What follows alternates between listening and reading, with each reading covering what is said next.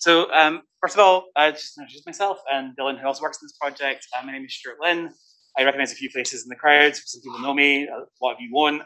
Um, I'm a, a, researcher, a data scientist, and an engineer, um, and I currently work at the University of Chicago, which is a bit weird being in, in New York Open Data Week, but that's where I work now. Work remotely from New York, lived here for about four or five years. I've been involved in a bunch of different projects. Dylan, who also works on this project, just a shout out to him. He's been doing a lot of great work on this as well. Um, the part of the University of Chicago I work at is the Spatial Data Science, the Center for Spatial Data Science, which is a part of the organization that does a lot of things with mapping, a lot of things with spatial data, a lot of things with spatial statistics, um, and applies those to things like um, spatial epidemiology, so how viruses spread, which is obviously pretty relevant today, and things like uh, social determinants of health. So kind of like what factors about your community, what factors about where you live, um, your access to um, healthcare, medicine, how that affects your outcomes for health. So these are all spatial questions that are all really, really interesting. And what I'm here to talk about today is a tool that we're building, or a suite of tools that we're building that should make building spatial applications and spatial dashboards, but any kind of dashboards really kind of a lot easier. Um, so currently, you know, it can be a little bit tricky to do, but we're trying to build something that's going to be like universal, like hopefully no code at all. You can write no code, just like interact with the thing and get something really cool and amazing out of the end. We've been building this for about three months, um, so we're still fairly early on in the process, um, but we wanted to put it in front of everybody here today to kind of show you where we are, get you playing around with it, and kind of hear your feedback as to what we can be doing better with it, what kind of use cases we should be supporting, and what kind of things that you guys feel that you need to do in your day jobs that we currently don't have a tool for. So that's kind of where we are. So really kind of when we think about a geospatial dashboard or geospatial application, we can ask like, what, what makes that up and what makes a good one? And I've built a crap ton of geospatial dashboards over the years. and I'm sure people in this room have them as well. Um, there's a lot of different parts of the process, but if it goes well, you end up with something like this. This is a, a project I worked on um, sort of the start of uh, just before the pandemic hit um, with Hester Street, which is an organization based in Chinatown, um, who were looking to do a lot of um, interesting things with the, so, so, they were involved in organizing the census um, effort to get people to sign up for the census, uh, fill out the census online, basically. Um, this is really important for representation. It's really important for funding. Um, and New York had some areas in it, like um, Bed-Stuy and Bushwick, where the numbers from the previous census were actually quite low. Um, and so they were doing a huge effort to try and get people to fill this out online. So we helped them build this dashboard that would suck in the data from the census API, which showed you how many people, what fraction of people was set up in any given area and filled out the census brought in data um, about the communities that were there and brought in data about local organizations that were there to get the, the, people like filling out the census. And so this was a huge dashboard to help coordinate people on the ground, people doing the sort of organization of resources and literature and all that good stuff.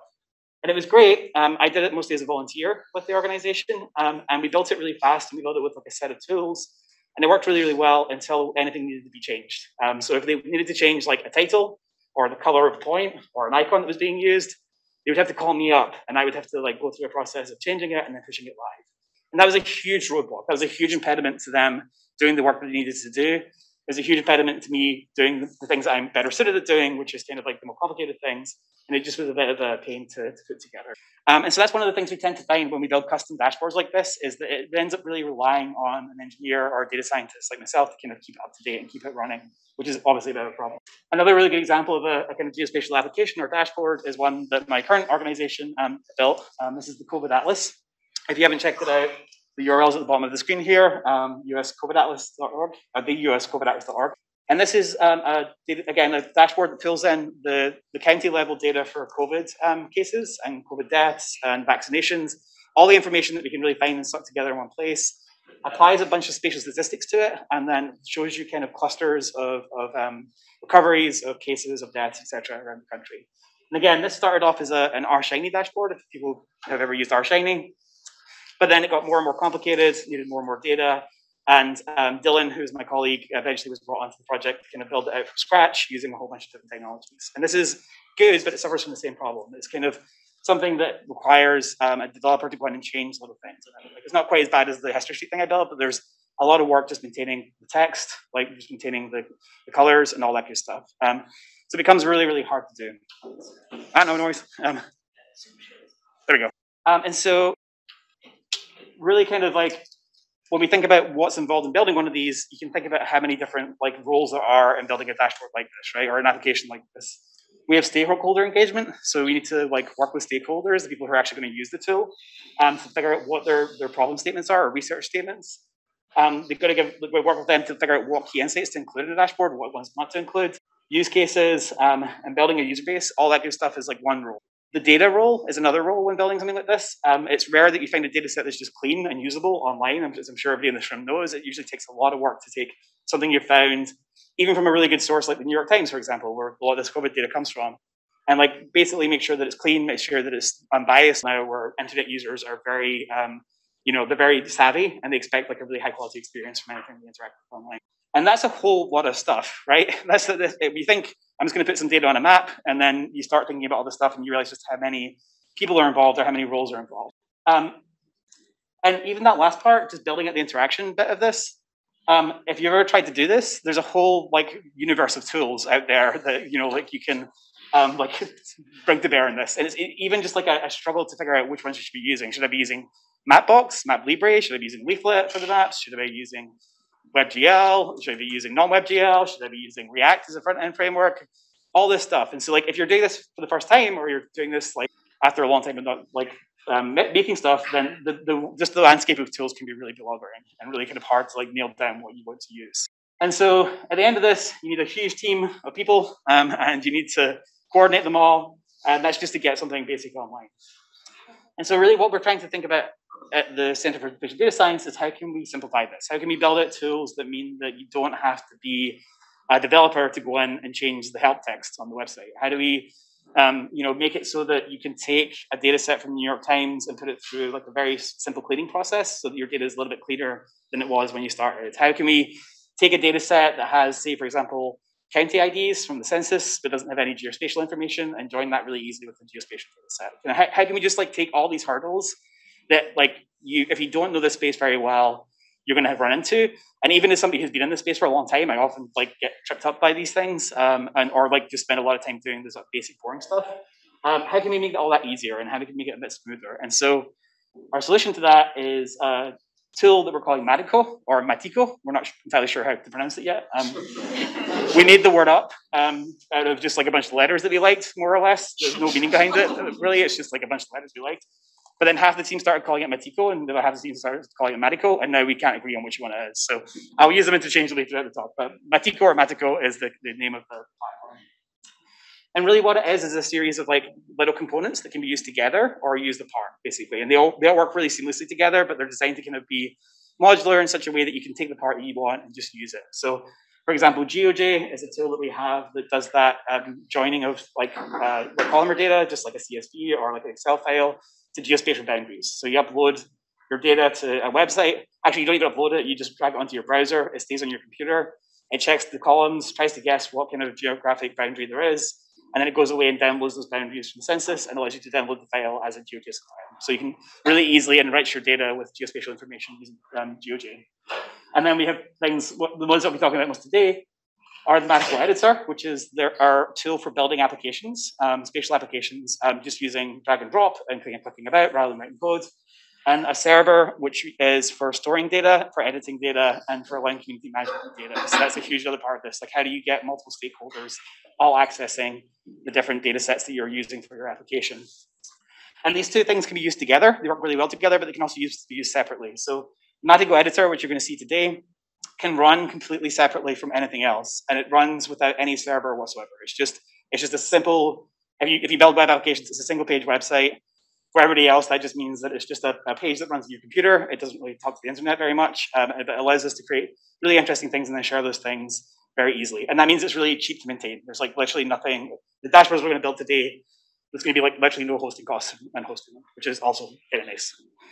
So that's the idea. Um, the communities we're trying to serve with this are mainly researchers, um, uh, people who work at nonprofits, NGOs, basically anybody who's not trying to make a buck, but trying to do something interesting in the world. Um, and because of that, we're trying to build it in such a way that it's, it's very free to run. It's either free to run or very cheap to run. It's accessible. We're licensing it in a way that you can never really make it like um, charged for to some extent. It's always going to be open and free.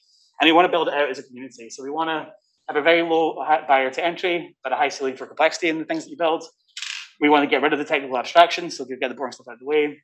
We want to center accessibility and collaboration. So all the tools we're building this out of are all kind of accessible from the start. They're all kind of um, good with screen readers and good with accessibility options. We're using color safe um, color palettes, that kind of thing. And then we want it to be extensible and flexible. So if, if, it doesn't do something you want it to do, it's easy for you to kind of extend it and do more things with it. And so that's kind of our ethos around what we're, we're trying to build on today. As I say, this is all very early. Um, so we're putting it in front of you guys to kind of hear what you think, to inspire some use cases, to see kind of what you might actually want to do with this, um, and how we can sort of direct it towards that, that flow we're about to go through a, a, kind of big push to get this to the point whereby we have kind of like our alpha release so that everybody can play with it without it breaking every five seconds. But then after that, our our, um, our sort of, you know our focus is going to be on community management of the tool. Um, how do we create a community of people who are helping us steward what gets built in the tool and how it's used and how it's, it's accessible. So if you like what you see today and you want to be part of that community group, or you just want to tell me about why it sucks or like what it could do better, feel free to come up and talk to me, and I'll also put up some contact details on the slide as well. So before we dive, dive into the um, demo, does anybody have any questions about any of that? Just as a kind of, for me, feeling in the room, who here would describe themselves as like a developer or like data scientist or analyst? Okay, um, who here would like be more in the kind of community organization or kind of like organization or like organization in general? Okay, and I'm sure for a lot of people those two things are overlapping, right? They're kind of like both in the same the same boat. So yeah, okay, great. So if you want to follow along with this, you can. Um, if you want to go to um, app.matico.app, which is our, our, our, our, basically our development server, you should be able to sign up for an account there. Um, again, this is a, a, demo server, so don't expect anything that lives there to kind of be long lasting. We're going to be kind of like typing it quite a lot. Um, but just for today, you can use it to kind of go ahead and have a play with the tools that we're building. Um, well, that went off the screen. Just bring it back on here. Um, so if you do that, I'm sorry, my, my actually, I, have been struggling to get my screens to mirror, so I'm gonna have to look at the projector here while I talk, which is a bit of a pain. Um, but there we go. So you go to the website here, app.matico.app, and you should be able to sign up. And then when you do that, if you come through to apps, and then say create new app, the screen is very okay. Um, and you'll be able to create a new app, so just give it a name, my awesome thing. Are you, are you on the web version? The web version? It's like a, a one page. This is, you know, I'll, let me see my questions for later. Okay, so no worries. Um, so do this, public, firm, and then click through, you'll get to the app building um, site, basically. So we're going to start there. So if you want to follow along, do that. If you don't want to follow along, don't worry about it. It's all good. Um, we're going to be using, I'm going to be using a local version of this, um, which is just because it will save on a little bit of bandwidth, and it will make it so that we can um, have a little bit more screen real estate, but it's basically the same thing. And this is what I mean by when I say that this thing can run kind of independently of servers. This is just running on my computer as a static website, just hanging out there. This is kind of the, the application. Um, uh, you can see here on the left, we have a kind of navigation bar, and then on the right, we have our, our editor. So this is where we're gonna like edit the application itself. So Matico allows us to have multiple different pages. So I'm just gonna click this plus button, and we've added a page. So this is our home page. It's just the page we're gonna start on. Um, if I click on this little gear icon here, then I see the details of the page on the right-hand side. This is basically the editing pane now. And I can do things like I can change its name. So if I really want to be home, I could say, you know, like landing. Um, it changes and updates the application in real time. So for page management, for like kind of laying out your application, that's very quick. Set a second page here, and then we'll just call this one info, and we'll give it a path. So this is going to be the URL that you go to that page from, and I'm going to change this to an info icon. And again, this is all happening in real time. So now we've got two pages. This is page zero, we go to the landing page. This is page one. And you see that the URL changes. So we can basically create a URL structure for your application, just each page that you want to have on there. That's great. Our info page is going to contain info about what we're going to do today. And we're going to make a map about squirrels. So I'm just going to say, oh, awesome. Apologies for my spelling and typing.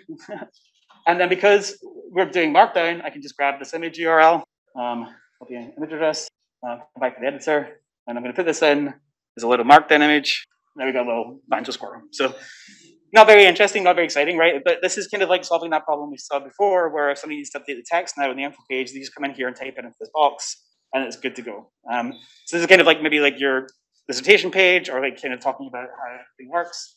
This is kind of like laying out. Let's do something more interesting. So we'll go back to our landing page. We'll click on the edit button. Get it into edit mode. We'll remove the text here, and then what we'll do is we'll um, add a section in here. So pages can have multiple sections. Um, we're, we're planning on having different ways of laying out sections. So it could be like a long scrolling page where there's different sections come up when you scroll at different parts of it. Um, in this case, the sections are tabs. Um, and so if we don't have any, we don't see the tabs, but this is just the, the tabs basically here.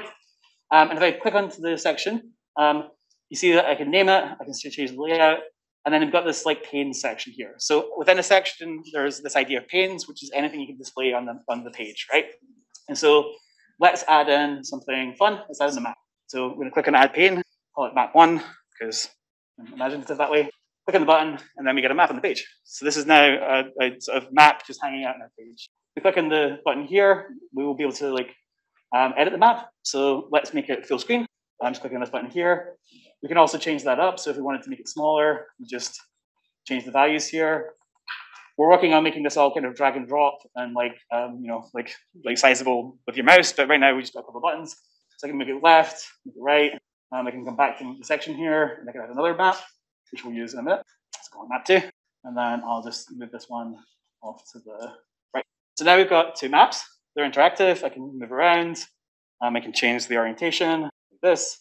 Um, and I can set the view of these. So if I, if I want um, the map to start here when I load at the page, I can just say set from current view, and it fills out the latitude, longitude, zoom, and bearing, and everything like that as well. So that's kind of where the, where the map's going to start off in the view. These are a little bit hard to tell apart just now, so let's go ahead and change the base map on this one. Um, open layers, go into dark mode, get a nice dark map, nice and moody. Um, this one will make something a little lighter, a bit simpler. And then we've got our, our maps here, um, which is great. So now we need to put some data on the maps. And where are we going to get data from? Well, this is the school of data. So we're going to get data from the Open Data Portal. Um, so we can pull data in from anywhere around the internet. Um, we can it, currently pull in GeoJSONs or CSVs. Um, and we can just basically provide a URL, um, and it'll pull the data in from wherever you want to get. It. So we go to data sets now, we go to add, we get a little pop-up. And so we've got either CSV data set, GeoJSON data set. Ignore this one just now. This is something for people who work with raster data. Um, and we've got the Socrata data sets as well. So if you had, say, for example, uh, like CSV file somewhere on GitHub that's accessible by the internet, you can just put in the URL, give it a name, tell us what the latitude and longitude column on that CSV is, hit go, and then that data set will be loaded into the, the platform to use. Um, we're going to use the Open Data Portal.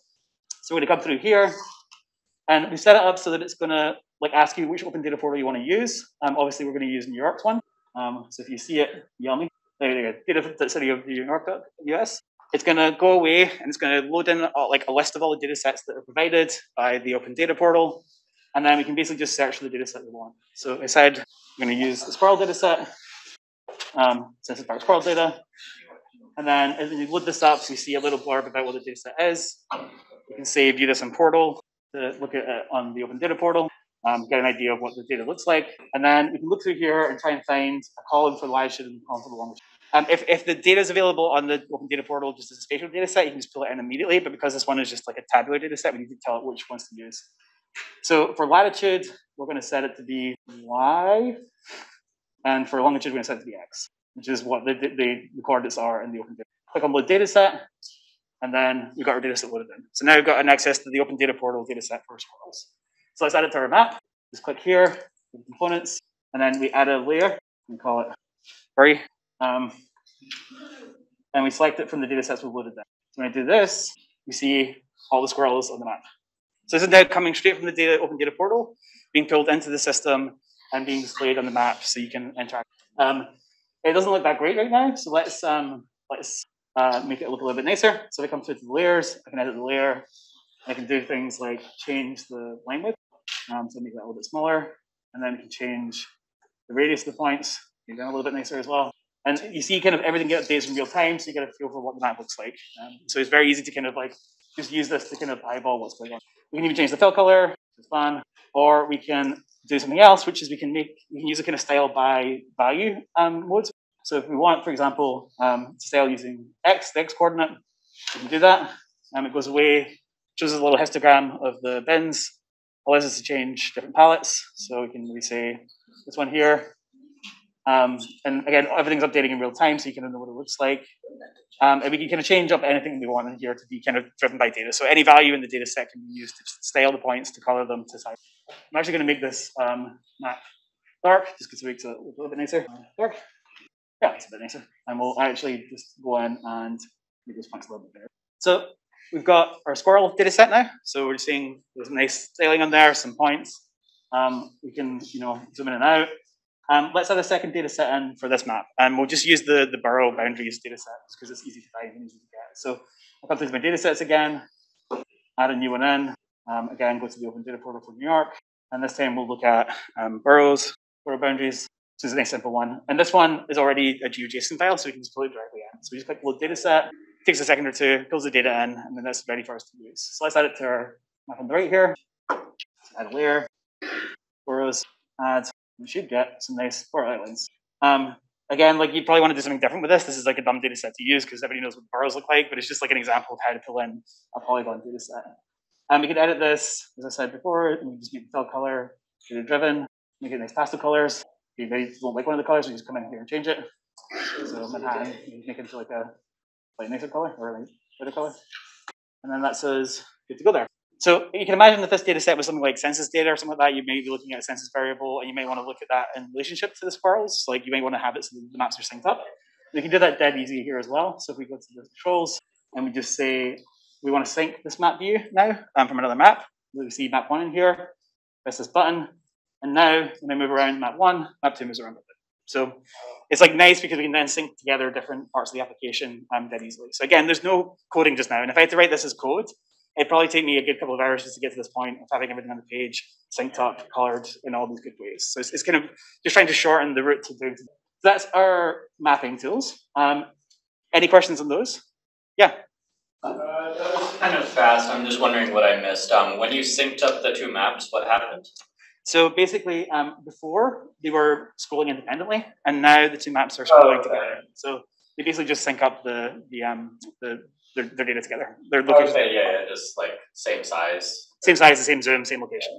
Yeah. yeah. So that comes to mind. So you're loading these data sets, and let's just say they're dynamic, right? Like, what if um, what if they're so massive they like start making my computer really slow on a server? Is that something that this handles or? Yeah, so so we're, we're trying to make it as, as proficient as possible for data sets that are big. Um, we're we're trying to create a, a, kind of a new file format for making them really small, and we're going to build some tools to convert other data sets to that file format. But just building in something from the Open Data Portal that's 100 megabytes, 200 megabytes is going to be slow, regardless of what you do, right? That's when the server comes into play. So this is all not using the server. This is all just using the static um, website. There's no like computer in the cloud that's running this at this point. It's just like a static website. And so it's all happening on my computer locally in the browser. Um, if you want to bring in bigger data sets, we recommend loading them into the server. And I'll show that a little so bit towards the end. So that's a recommended path. Yeah, exactly. Yeah. Uh, one of the most popular data sets is the uh, 2010 to present 211. 211 data, yeah, because it's huge, right? Yeah. Yeah, about 15 or 16 gigabytes? Yeah. Is that something that this could handle? Not directly. Again, you'd probably need to load it into the server and then have it run from there. And um, we haven't stress tested the data set at large in the server yet, but we can definitely play around with it. Um, we're trying to think. So normally, when you can, when a server communicates to the front end like this, it's sending over either vector tiles, which you can definitely do, um, or it's sending over kind of like uh, data in a, a constrained format. That amount of data is still pretty large, so you'd probably need to be able to be looking at a, a subset of it at any given time. But we have a system in this so that if you want to, you can define like a, a range in time or a range in space or a range in like variables, and it will just request those parts of the data set from the server. So that's that's kind of like the newer parts of what we're building out, and I'll show some details of that um, as we go through. But yeah, potentially you could pull that in. The other thing we're doing with the server, and again I'll show this towards the end, is we have an incremental ETL system in it. So basically you can set up a URL. So the, the Open Data Portal URL, for example, a little SQL script to clean it and do anything you want with it. So maybe like drop some columns, rename some columns, clean up any of the data that's in there. And it will only grab the amount of data that you tell it to. So you can set it up so that every day it just grabs the new 311 data, puts it through this cleaning script, loads it into the table with everything else, and keeps it up to date. So the server, even though it's not linked to the live source, can be set up to basically do that kind of incremental uh, ETL. Yeah. Um, how many layers can we add on the same same map? Oh, as many as you want. So if you want to, we can add. Well, there, there's definitely a limit, but it's in the thousands. Like I guess move the, the squirrel population into it. Yep. So we can just do. We can't do move it in, but let's do this. Uh, squirrels, add, and then we'll need to rearrange the layers so it pops on top. There you go. You also can uh, we make it as a dynamic in terms of if we were to see, let's say, last five years squirrel population yeah, so we can do that. We don't we don't have that built out for dates yet, um, but we have it for um, for for other variables. So let me just show that actually. So there's two ways of doing that. One way you can do is we can come back through to our panes um, uh, here in our section, and we could add in either a control pane, um, which will give us the ability to add in sliders and um, like drop downs. But actually, more interesting than that is let's add in a histogram pane. So we add in the histogram pane here.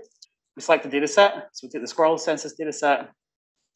And then let's take one of the variables in here. So uh, let's see, above ground sighter measurement. By the way, if anybody here is from the squirrel census and can tell me what this value actually is, I'd love to know what it is. It's just the one I've been using for demos, but I don't really know what the, that actually means. But if we do this, we can see we can create a histogram of the data um, really easily. We can move this around. So let's just move it to like, I don't know, like like 5% numbers of the screen, like halfway up it. I don't know. This isn't going to be beautiful because we're doing this kind of live, right? But you can see kind of, you can put that whatever you want. Um, we can change the number of bins that the histogram has. We can change the color like we would have before. And we can even style it color using another variable if you wanted to. You won't do that just yet. But what I can do is I can come in here and I can create a little um, like slider here to sort of um, uh, like like basically like select the data we want to show in the map. Now, because we got it in two maps, we need to tell it which one to use, basically. So if we come through to our first map and we go to our uh, squirrel data set, our squirrel layer, um, then what we can do is if we look in here, the data source, we can add filters to that data source. If I add a range filter, I can put it on that same variable, so above ground uh, sighter, and I can either put in like a manual range. So if I say 10 here, for example, then hopefully you'll see some of the points disappear. So you can filter it just by the manual range. Or what we can do is we can click on these little buttons and say, I want to select this variable from the range query here. I'm going to say the min, say the max. And then what will happen is if I drag this, then we get the, the data filtering as we go through there.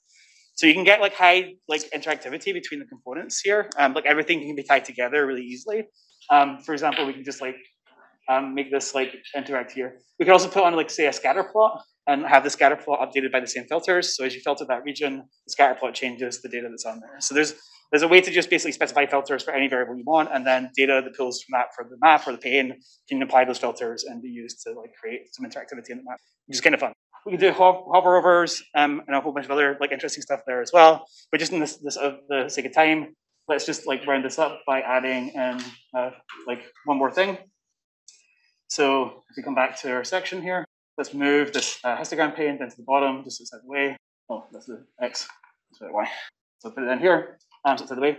We can actually do give it a title as well. So some data point. We can give it like an X label and a Y label. It's like maybe use nonsense right now. But again, this is like trying to make, make it so that it doesn't require me as a developer to go and change things. Um, and then what we'll do is we'll add one last thing to get this off, which is going to be our little um, a little heading. So we come in here to our section again, um, add a new pane, nesting text. Oh, sorry, my names are getting worse as this goes on. Um, but we can also just put in like a little text pane here, which could be our header. I don't know, call it something like furry boys. Um, and we're gonna have like I have like a whole bunch of like formatting and things in here as well. Make this a bit smaller. Put it the top here. Uh, yeah, and as I say, we're, we're planning on making it so you can just drag these things around, so you don't have to like hold this button down for for ages. Um, but we're not quite there yet. Okay, cool. So imagine that's your heading at the top there, and that's kind of that your introduction text is in there as well. It's telling you about all the things about this project. And so that's kind of us done. Um, now that we're done, we just publish it by going to say edit equals false. On the server, you just get a link, but because I'm doing this in the, the sort of local tool, you can see that. When I do that, the editor goes away, the data all loads up, and then this is available to use as a dashboard on the web. So you can publish this now. People can go in and use this and play around with it and access the data and like do whatever you want with it. This can be hosted out of a static website bin or GitHub pages or anywhere else. The server will automatically host it for you, but you can also just like download the source from this and place it, put it wherever you want. Essentially, what's happening here is, as we've done all this stuff um, behind the scenes, um, what's been happening is it's been writing this big long specification for how the application should work. So all the details about the, the way that the data sets are linked together, the way the maps are linked together, what colors to use, is all part of the specification that the library then knows how to read and build the dashboard out of it. And so this, this thing here, copying and pasting this, is all I need to do to recreate everything that we just did there. And that's how we basically host this live. All right, we're about 10 minutes away from the end. So does that make sense everybody? Is there any other questions about like what this can do? Okay, very, very quickly, I want to show you the server side um, integration, just to answer the questions that we saw before there. So this is the same thing we saw before. It's just a little bar on the side, um, you can do everything I just showed you before. Um, I might have some other applications in here that I've built. So let's see. Uh, this is a data. Oh, that one is not. Of course it doesn't. Uh, okay. Yeah. Okay. So let's do. Let's see if I see another one. Um, this one. Is this is data? All right. Apparently, I didn't make any data myself. Normally, I do this on my own um, uh, machine. But yeah, so on the server side of things, we can upload data sets. So basically, if you want to in here, we can create a new data set. and we can upload it from a file on our computer. So for example, here, I could upload a data set, um, I don't know, US County Facts. This is one that we'll be using with the, the, the um, uh, COVID data sets. I open that up, I get a little preview of what's in there. I can give it a name, uh, COVID data, or something similar, a little description, and then I can just come down here, I upload, and I'll upload it to the server. So this is now just like putting up to the server. Um, uh, and then it appears in my data sets here. So COVID data. I click through to that. I get, you can see it on the map. I can see the data in the table. And this is now stored on our, our database and our server, essentially. So if you needed to upload your own data, or if you wanted to bring data in from another source and tidy it up, you can do it here. So this is kind of the data management side of things. And this is nice because I can, you can either, um, do this quickly. Um, I can either, refresh this. Um, I can either, uh, you know, play around with this using SQL. If you know SQL, you can sort of um, filter it and play around, get a feel for your data. Um, we can either do that, or we can um, just zoom out, or we can take one of the variables at the top here and color the map by it. So this is the number of um, hospital beds available in each county. Um, so we can very quickly visualize it. We can also click on our feature editor. And so let's say we knew that it's one of the data points was wrong. Let's say actually the number of beds has gone up. Anybody can come in and just update that, hit save changes, and then that updates the database. So again, this is something that you don't have to do as a developer. Anybody on your team who understands the data can go in, find the thing they're interested in, and change it. Not only that, but they can also edit the geometries. So if we think this county is wrong for some reason, we can do some gerrymandering or whatever. um, and then we just save it. Again, the data set's then saved back to our server, so that's available then. So again, it's, it's giving access to people to edit and maintain the data set who are not necessarily technical. Um, this can then be used as a data set in the front end builder, or you can basically access the data directly um, through queries. We also have something called the API builder. Um, this is an interesting one here. What this allows us to do is it allows us to write a little um, uh, chunk of SQL. So again, like this is where a little bit of code comes into this. We're hoping to build out interfaces to make this so that you can actually generate the SQL just by clicking and dragging and using buttons, etc. But for now, we just write it itself. This is taking a data set I uploaded of Bigfoot sightings in the US, um, which is actually a fairly large data set. And it's counting the number of Bigfoot sightings in every county in the US. Um, and it's doing that by day of the week. So um, basically what we can do in here is we can put a little placeholder, this thing day, um, dollar sign day, and then that can be an input variable. So that essentially what we're doing here is creating an API where if I say change the day value, needs to be an integer, um, it will change the data on the map.